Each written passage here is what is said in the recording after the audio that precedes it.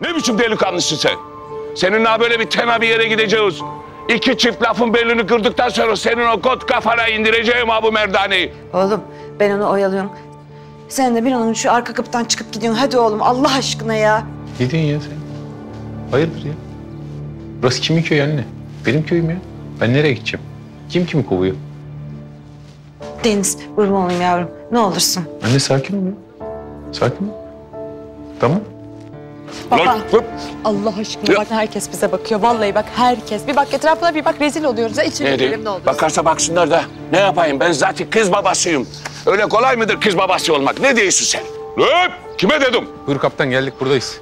Geldin mi? He. Ha, burada olmaz şimdi. Mahallenin önünde, hanımların ortasında seninle gideceğiz. Tenha bir yerde konuşacağız. Düş bakayım önüme. Düş Ay ay. dedim, önüme ay, düş. Ay. Oğlum sen nereye gidiyorsun? Adamın elinde kocaman otuku var ayıptır. Ya aşk olsun Şevket Usta sana da ya. Yakışıyor mu böyle elinde odunlarla, merdaneyle kabadayılık yapmak sana? Aşk olsun. Teessüf ederim Melahat Hanım. Teessüf ederim. Asıl kabadayılık yapan senin bu arkandaki sürüktür. Bu ne demektir ya? Gündüz vakti benim kızımın önünü kesecek de elinden tutacak da çeke çeke çeke çeke buraya kadar getirecek ha. Ola bunun hesabını vereceksin. Yaptın mı lan bunu gerçekten? Zorla mı getirin kızı buraya? Yok be ya olur mu zorla morla? Biz konuştuk Zeynep'le hallettik bu işleri. Allah Allah barıştık yine. Dün acaba yüzüğü taksak mı diye bile konuştuk ya. Bu. Zeynep. Ne diyor ya bu uşak? Bilmiyorum. Yalan! Yalan söylüyorum. Zeynep yüzüme bile bakmıyor. Geçen selamun aleyküm ne yapıyorsun dedim. Dedi tükürdü geçti. Allah'ın selamını da mı almıyorsun dedim. Sırf annem üzülmesin diye cennet annemin ayaklarının altında diye onun için yalan söyledim. Beni affedeceğim. Bir affet oğlum. Sen bir beni sevdiğim annemsin. Cezanı vermesin yavrum ağlama tabii ki ağlama. Seni affetmeyeceğim de kimi affedeceğim? Kusura bakma artık Şevket Usta ne yapacaksın? Ana yüreği oğlan yalan da söylese sevmekten vazgeçemiyorum bir türlü. Sağ ol, sağ ol, sağ ol. Anladım ben Melahat Hanım. Ben anladım Melahat Hanım.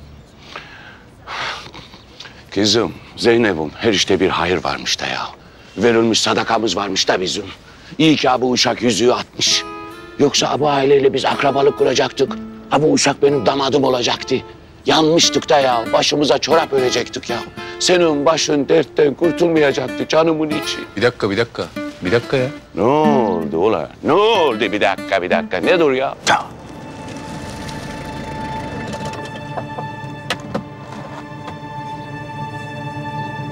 Ola bu kimdi?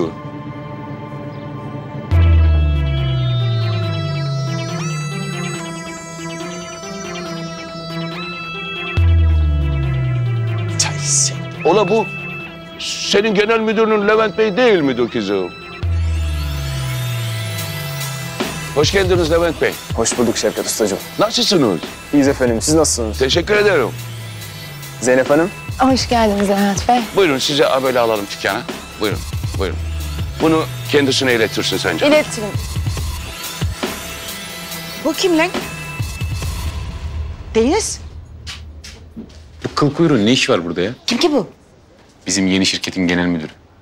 Levent. Bu kadar genç yaşta. Vallahi maşallah çocuğa ya. Trabzonlu. Doğma büyüme. Ana bu da Şevketler gibi Karadenizli yani. Hemen buluyorlar birbirlerini. Yapma ya.